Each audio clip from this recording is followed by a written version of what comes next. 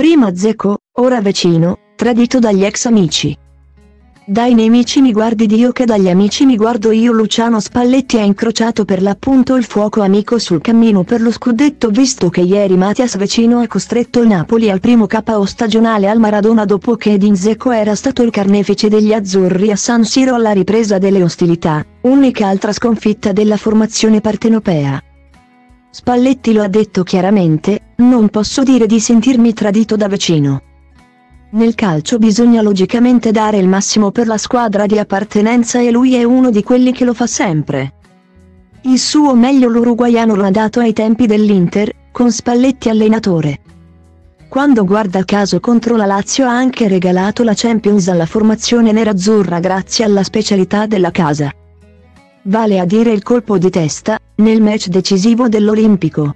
Dunque, Lucianone sapeva bene di cosa era capace vicino ma non si sarebbe certamente aspettato un gol da fuori come quello di ieri sera visto che Matias è più dedito agli inserimenti in area che a certe prodezze balistiche.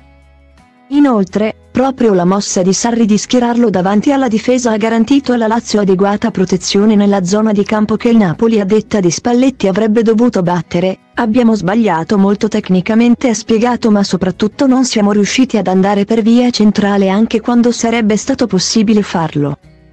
Merito, come detto, anche della presenza di Vecino che si è fatto sentire esattamente come fece Zeco a San Siro perché la presenza dell'ex romanista si è rivelata decisiva in occasione della sfida post-natalizia che sembrava aver avvicinato la squadra di Inzaghi a quella di Spalletti.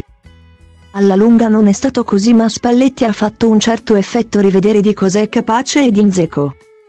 Centravanti che per anni ha fatto le fortune proprio di Lucianone. Anzi, con Spalletti in panchina il bosniaco ha segnato 44 reti in 69 partite, una enormità.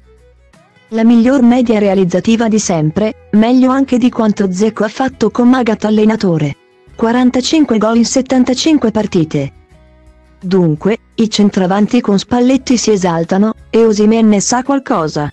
Ecco perché il Napoli ripartirà proprio dalle prodezze del nigeriano che anche ieri sera ha rischiato di pareggiare, dopo però che il fuoco amico aveva nuovamente colpito Spalletti.